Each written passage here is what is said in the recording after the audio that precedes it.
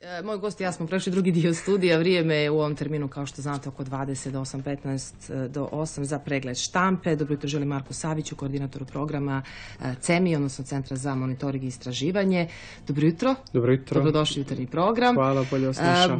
Prelistavamo štampu, izdajemo onako važne naslove za četvrtak 20. april. Vi ste uspjeli nekoliko minuta da odvojite za to i eto prvog pitanja kako mi izgledaju naslovne strane i uopšte ono što je u fokusu redakcija. Odmah sam rekao da nas nije moglo nije, nas, nije su nas mogle teže naslovnice, nažalost, onaj, zapasti da, da, da, imamo ulogu da analiziramo jutro, ali dobro, snaćemo se.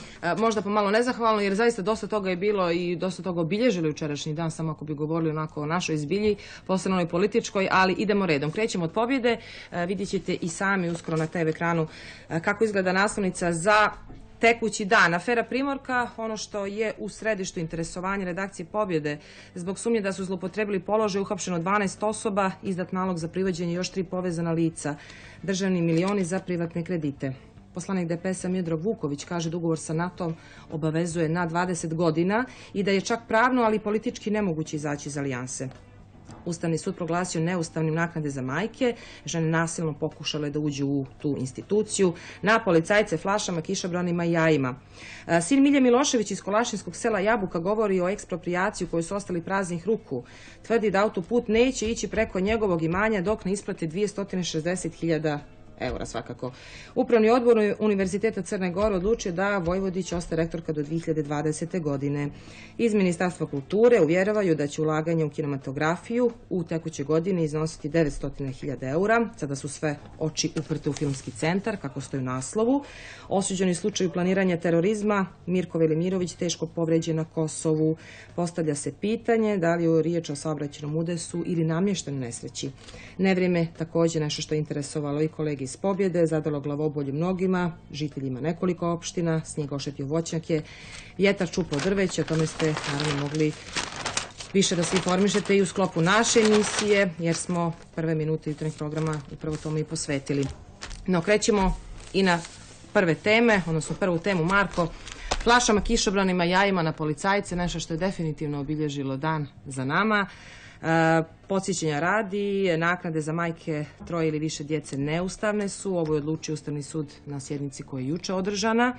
U toj odluci piše da je vlada dužna da u roku od tri mjeseca od dana objavljivanja odluke podnese Skupštini Crne Gore prijedlog zakona kojim će da reguliše pravni status aktualnih korisnica naknada po rođenja troje ili više djece. Dakle, na ovaj način da sumiramo, novim zakonom vlada može ili da ukine primanje dosadašnjim korisnicima naknada, da ih smanji ili da pronađe neko mm. treće rješenje. Tako je. Kako vam sve ovo izgleda, je li ova eksplozija morala da se dogodi, da bi se onda sjelo, poradilo na dijalogu, pa i majke pristale da eventualno razmisle o daljim koracima? Nažalost, e, ovo su negdje slike koje u posljednjih nekoliko godina e, kroz raznorazne proteste ili proteste sa, sa različitim ciljevima se, čini mi se, građani Crne Gore navikavaju i to je izuzetno loše. E, negdje je izgubio, izgubio se taj moment e, e, želje za dijalogom i želje za otvorenim dijalogom, zapravo raspravljanjem negdje gdje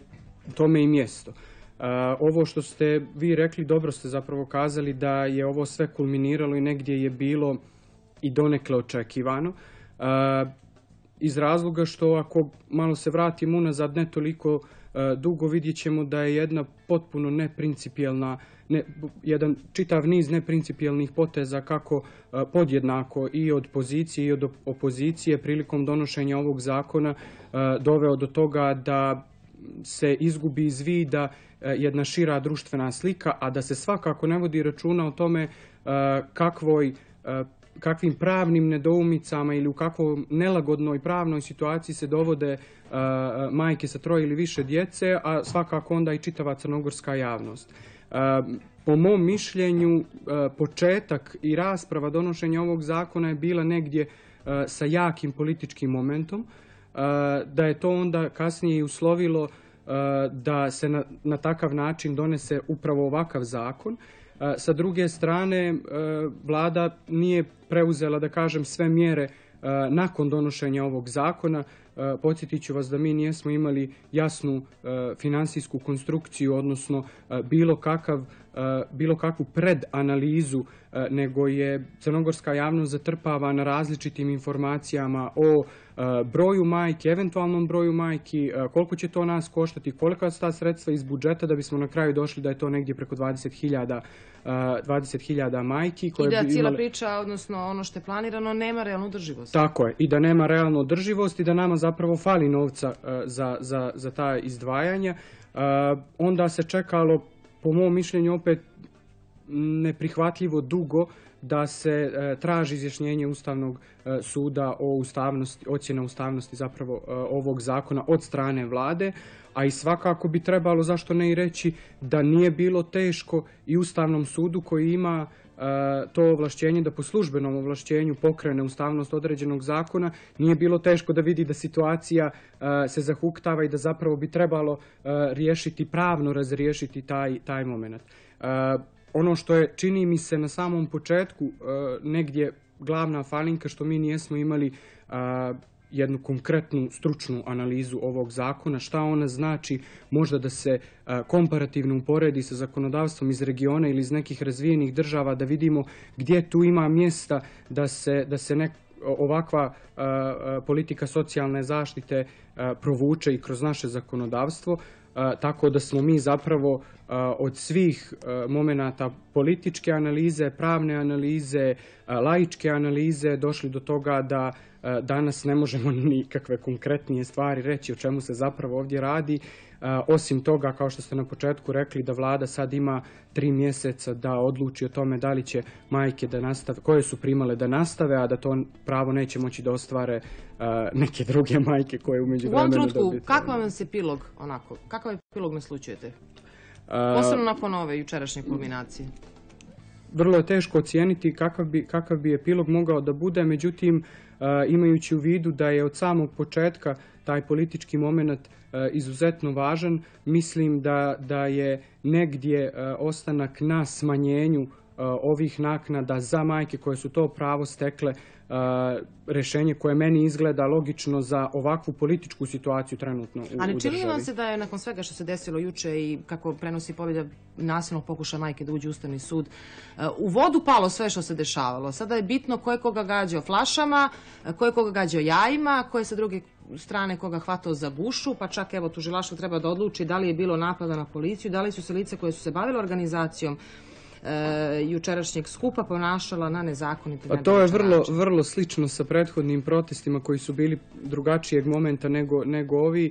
Mi ćemo sad obilato početi da koristimo e, analizu putem društvenih mreža od strane zapravo gotovo svih, svih građana i daćemo sebi za pravo da ocjenjujemo da li je neko prešao svoja ovlašćenja štiteći instituciju ili je došlo do, toga da su majke bile nasilne i tako dalje i tako dalje. Sve dok se svi ti snimci, a gledao sam baš i bilo je na, onu drugu stranu negativnosti simpatično vidjeti te snimke mobilnim telefonima kao da živimo ne znam negdje u, u nekom mnogo, mnogo neuređenijem društvu gdje se stvara atmosfera i straha i izazivanja negdje incidenta, a onda vidite, pošto takav sam vizualni tip, onda vidite te izraze lica ljudi koji štite tu instituciju, koji ne, prosto znaju šta bi trebalo da reaguju, a ne znaju kako treba da reaguju.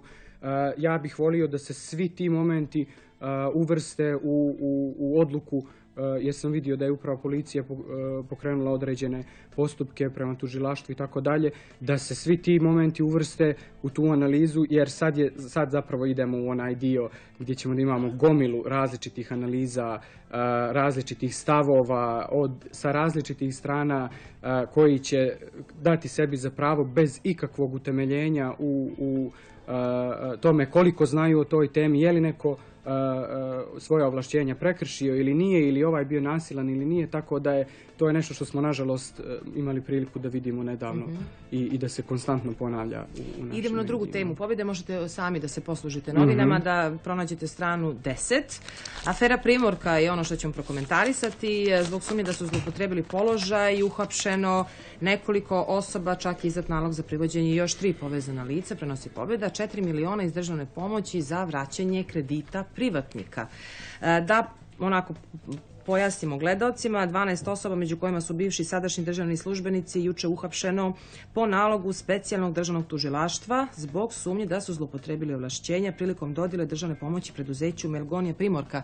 E, gotovo sve dnevne novine se bave upravo ovom e, temom. Konačno odluka bila je i na vladi kada govorimo o Komisiji za kontrolu državne pomoći kojom je predsjedavao Mitar Bajčeta 2010. Mhm. Tada se još razmatralo usklađeno državne pomoći za pomenuto preduzeće, konačnu odluku donosila je vlada i tako dalje. Sada Evo kakav je sada, sada opet, opet da čekamo epilog jer čini, mi se, e, čini mi se da, da specijalni državni tužilac ovako s vremena na vrijeme voli da protrese ovaj, e, čitavo, čitavu javnost crnogorsku sa slučajevima koji da kažem, intrigiraju kako laičku, tako i, i, javnost koja se bavi analizom javnih politika.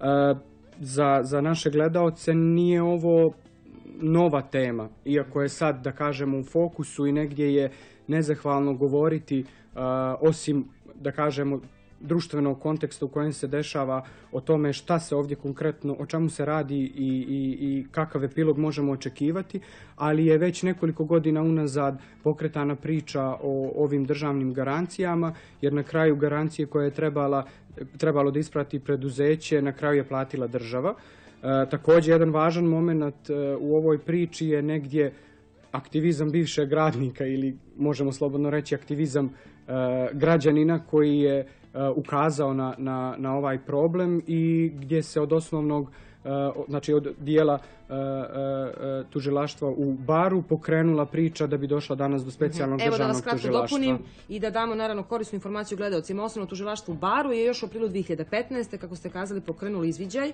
u slučaju Melgonija Primorka. Provjere su slijedile nakon što je bivši radnik Džedet Begzić dostavio dokumentaciju iz koje se navodno može vidjeti da novac od kredita nije potrošen za potrebe Melgonije, već da tim kreditom vraćan dug drugih kompanija. Zašto sada, evo, nešto što je aktualno dvije godine odjednom, što kažete, se trese ova priča?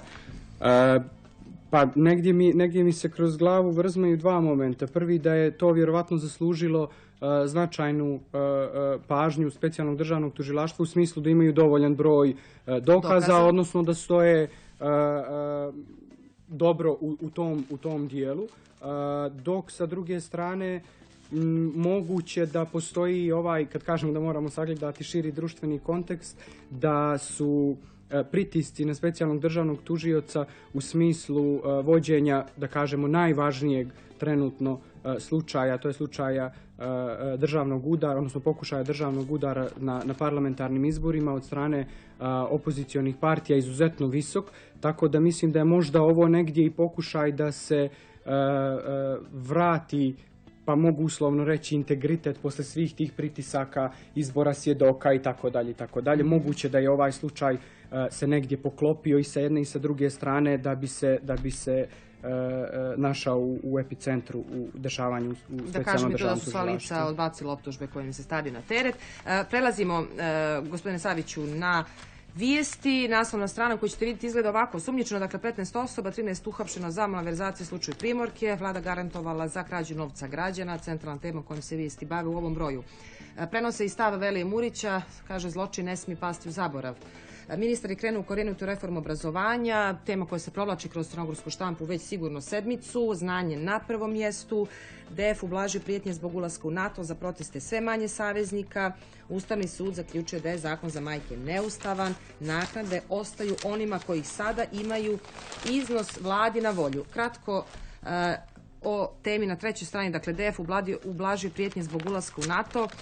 Jako su tvrdili da će država biti na ivici sukoba, ako ne bude referenduma, DF sada teško nalazi saveznike za proteste. Jako su prije nepunu godinu tvrdili da će Crna Gora biti dovedena na ivici sukoba, ukoliko ne bude raspita, raspisan referendum u učlanjenju NATO, sada u DF-u teško nalaze saveznike za proteste kojima bi eventualno spriječili parlament da odluči o učlanjenju u alijansu. E, da kažem opet jedna situacija Očekivan koja... obrat, nešto što je možda čak bilo izvjesno. Pa mi, Kako nažalost, za, za e, analizu partijskog i, i uopšte političkog sistema u Crnoj Gori e, se susrećemo sa ovim da e, ujedinjenu opoziciju čini mi se nećemo brzo dočekati, iako oni negdje obilato najavljuju da je, znate, i kroz e, izborne e, kampanje da je zajednička borba protiv vladajućeg DPS-a jedina moguća i da je jedini mogući način da se da se izbore protiv, protiv vladavine DPS-a. Ono što je ovdje konkretno slučaj, negdje mi se čini da je uzrok svega ovoga više mjesečno mogu reći trvenje između Demokratskog fronta i Demokratske Crne Gore, odnosno demokrata. E, Tu se zapravo vidi da je trn u oku negdje stabilna podrška e, Demokratskoj Crnoj Gori i, to da su oni uspjeli da se iz prethodnog izbornog ciklusa e, izvuku negdje nepovrijeđeni pritiscima i sa jedne i sa druge strane, nego da su sve prosto dešavanja ključna dešavala između e, Demokratskog fronta i Demokratske partije socijalista, a da su demokrate negdje tu uspjele da izvuku e, podobro e, parče kolača i da nekako prođu najmanje oštećeni tim trvenjem, što danas dovodi do toga da se negdje, da kažemo, principijelnom politikom nameću kao neko ko bi možda mogao da predvodi e, opoziciju, što sa druge strane naravno smeta demokratskom frontu koji je uspio e, e, on je nastao naravno kao predizborna koalicija, ali evo mi govorimo ovdje o demokratskom frontu kao o jedinstvenom subjektu, znači kroz nekoliko godina on je uspio bukvalno da usisa subjektivitet partija koje čine demokratski front i da mi danas o njemu govorimo kao jedinstvenom subjektu. To je svakako značajno reći jer se nametnuo kao, kao, kao takav na opozicionoj sceni. E sad demokrate tu malo priču, a, priču uspjevaju da, da, da pomjere i to je, da kažemo, jedan od osnovnih razloga zbog, zbog ovakvog naslova. E, Prelazimo na dan, dakle predmet Primorka, nešto čime se bavi i ova redakcija, ojadili državu za 4,5 miliona, za Mila sve čisto, incident ispred Ustavnog suda, jedna od tema, stručnjaci kritikovali kontroverzne rješenja za uređenje prostora, nosilac lice Demosa u Herceg Novo, Marko Mirjanić poruči da nema dogovora sa DPS-om, E, Demokratski front predstavio novu dokumentaciju o Saši Sinđeliću, a kratko samo e, da prokomentarišemo i temu objavljenu na strani 5. U Crnoj Gori cijene naftnih derivata skuplje nego u svim zemljama članicama Europske unije. Plaćamo dakle definitivno najskuplje gorivo u e, regionu. Kratko komentar. Pa evo, E, posljednje promjene naftnih derivata 21. marta, Marta. čini mi se da su bile, tada je došlo do pojeftinjenja goriva, svih vrsta goriva za 4 do 5 centi, sada opet nove izmjene. Šta ovo E, pokazuje? ja- Novi nameti države na građane E, i da li su građani ti kao krajnji konzumenti koji na kraju trpe ili privreda, šta mislite? A, ovo je, Šta ovo pokazuje? je- Kakvu sliku? Ovo je definitivno a, opet nešto što bi moglo da izazove nezadovoljstvo građana, ali opet kažem, ovo je po ko zna koji put da se a, ovakva situacija dešava i da imamo naslove slične ili da plaćamo najskuplje gorivo u regionu ili da plaćamo najskuplje gorivo u širem regionu ili uopšte u Europi.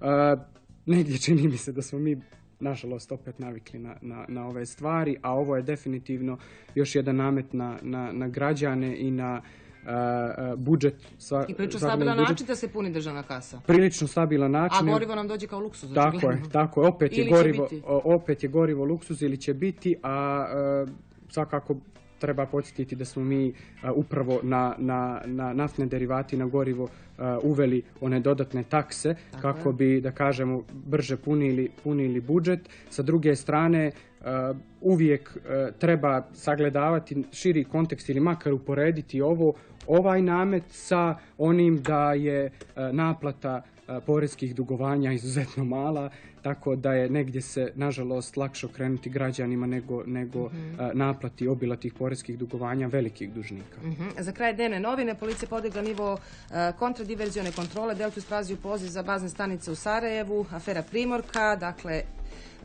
tema zajednička svim dnevnim novinama za danas državnim garancijama plaćen dug privatnika. Ustavni sud odlučio da su naknade majkama neustavne, vlada da predloži nova rješenja, ono što se traži.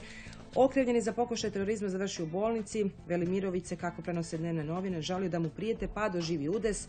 Na sjeveru poledice, na jugu poplave, snijeg, pade na Behar na voće, evo i stihova. E, nastavak reformi, Radmila Vojvodić ponovo izabrana za rektora Univerziteta Crne Gore. Mi smo došli do Novog Sata. Ja ću vam se u ovom trenutku, Marko, zahvaliti što ste bili u ovom dijelu jutarnjeg programa sa nama, što ste prelistavali štampu, a ima dosta aktivnosti CEMIA, o tome nećemo s vama već sa vašim kolegama, tu je dan i konkurs, pričat ćemo o tom potom. Hvala, vam mnogo. hvala, hvala puno.